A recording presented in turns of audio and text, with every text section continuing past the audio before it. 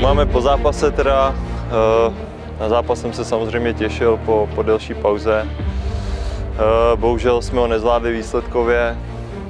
Prohráli jsme 2-1, ale myslím si, že můžeme jít s hlavou nahoře. Už to mělo hlavu a patu, eh, co jsme tady ukázali, co, jak se chceme dál prezentovat. Takže na to navážím snad ve středu.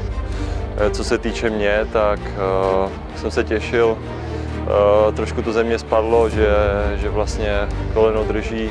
Šel jsem střídat z preventivních důvodů, protože jsem měl dlouhou pauzu a uh, už tam byly nějaké náznaky, náznaky, že mě začaly dát svaly, tak jsem to nechtěl riskovat dál.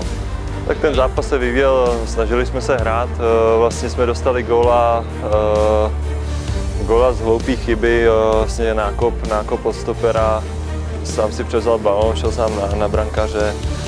Uh, hloupý gol, nemyslím si, že by nás to nějak zlomilo, uh, naopak o půli jsme si něco řekli, vlastně jsme dali rychlej gol, uh, což nás mělo nakopnout paradoxně. Paradoxně z naší standardky vlastně uh, zase, zase uh, taková hloupá chyba prostě. Dostali jsme na 2-1.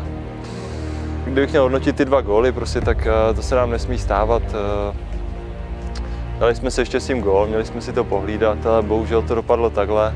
Další zápas uh, hrajeme doma vlastně s Jabloncem. Uh, myslím si, že z tohohle si můžeme uh, určitě, určitě nějaké věci vzít. Uh, uh, chceme, chceme na to navázat, uh, zlepšit výsledek a, a nemyslím si, že dneska bylo všechno špatně, naopak, takže, takže jak jsem říkal, navázat na to a, a doma, doma získat všechny tři body.